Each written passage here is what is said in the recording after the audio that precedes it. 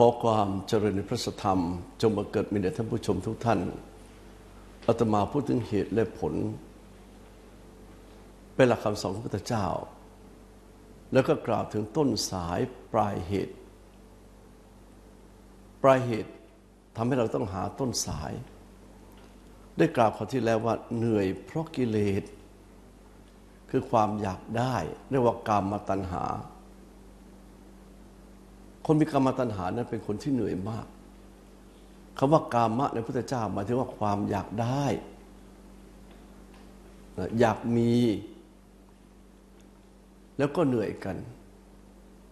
เพราะเนื่องจากความอยากความสุรุ่ยสุร่ายก็เกิดขึ้น ท่านผู้ชมสังเกตดูเถอะพอมีกรรมาตัณหาความอยากได้อยากมีเนี่ยพอได้มาแล้วมันจะสุรุ่ยสุร่ายมาก มันจะฆ่าฟันกัน ความทยานอยากนี้บางทีก็ผิดทางของมนุษย์ คือผิดกฎหมายผิดศีลธรรม เราจึงเห็นมิจฉาชีพทั้งหลาย คำว่ามิจฉาชีพหมายความหมายความว่าการประกอบอาชีพที่ผิดผิดด้วยความอยากได้ และเมื่อได้มาแล้ว เราไม่ได้เสวยความสุขจากความอยากได้ของเราเลยกลับต้องไปทนทุกข์เพราะความอยากได้นั้น หลบลี้หนีหน้าติดคุกซุกตาราง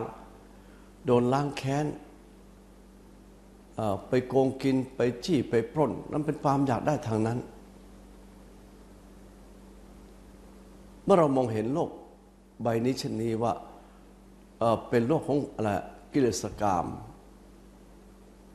เราจะต้องคิดว่าเราจะไม่ตกอยู่ในห่วงมหานบนั้นอย่างไร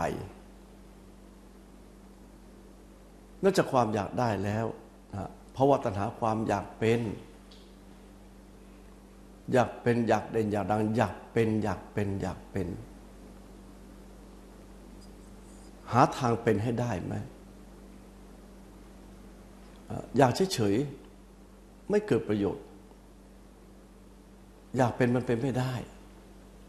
มันต้องมีเหตุแห่งความเป็นก็คืออะไร อิทธิบาสีประการได้อีกแหละ ฉันทะบริยจิตวิมังสา ถ้าถ้าอยากเป็น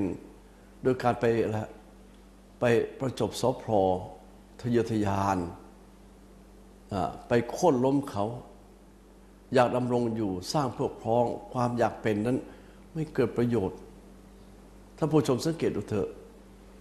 ในตัวเราในบ้านเมืองเรามีคนอยากเป็นเยอะมาก แล้วเป็นอย่างไรเป็นอย่างไรล่ะ คนอยากเป็นเหล่านั้นถามว่ามีใครมีความสุข พอได้เป็นแล้วมีใครมีความสุข ในความอยากเป็นนั้น จึงจะต้องอระงับยับยั้งชั่งใจมัน ว่าสิ่งที่เราอยากเป็นนั้น ให้ความสุขกับเราจริงหรือเปล่า ถ้าให้ความสุขไม่จริง อย่าไปอยากเป็น เพราะมีตัวอย่างเห็นชัดอยู่ตามตาเรา